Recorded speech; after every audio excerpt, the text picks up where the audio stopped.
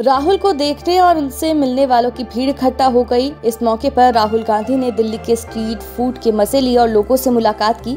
राहुल गांधी की तस्वीरें social media पर वायरल हो रही है। कांग्रेस के नेता राहुल गांधी 18 अप्रैल 2023 को दिल्ली में स्ट्रीट फ़ूड का जायका लेने पहुँचे। राहुल ने पहले बंगाली मार्केट के गोलगप्पे खाए, इसके बाद वह पुरानी दिल्ली पहुँचे, जहाँ उन्होंने चटपटी चाट का स्वाद चखा राहुल गांधी ने नीले रंग की टी शर्ट पहन रखी थी। इस दौरान बड़ी संख्या में लोग उनके साथ सेल्फी लेने की कोशिश करने लगे। जामा मस्जिद इलाके में राहुल ने गांधी मोहब्बत का शरबत बनाने वाली दुकान पर भी गए। इसके अलावा अल जवाहर होटल में लोगों के साथ बैठकर खाना भी खाया। राहुल गांधी को पुरानी दिल्ली के छोले भटूरे और गोलगप्पे काफ़ी पसंद है। इसके अलावा वह स्वर्णा भवन भी जाते हैं।